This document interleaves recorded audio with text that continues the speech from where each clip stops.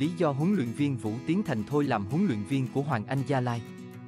Huấn luyện viên Vũ Tiến Thành không được đăng ký chức danh huấn luyện viên trưởng của Hoàng Anh Gia Lai thi đấu tại V-League 2024-2025.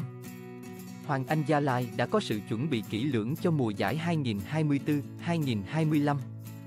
Đội bóng của Bầu Đức bổ sung một số ngoại binh để thay thế những ngoại binh cũ, đồng thời đôn một số cầu thủ trẻ lên để thi đấu ở mùa giải năm nay. Bên cạnh đó, Hoàng Anh Gia Lai cũng đã có chuyến tập huấn và thi đấu giao hữu trên đất Thái và thu được kết quả thuận lợi.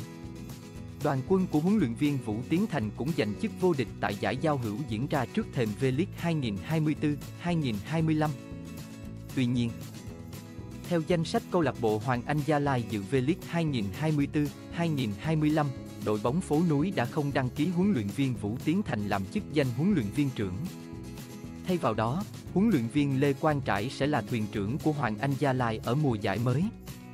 Chia sẻ với VOV.vn về lý do không làm huấn luyện viên trưởng của Hoàng Anh Gia Lai, huấn luyện viên Vũ Tiến Thành tiết lộ, đây là nằm trong kế hoạch và chiến lược phát triển của đội chủ sân Pleiku trong thời gian tới.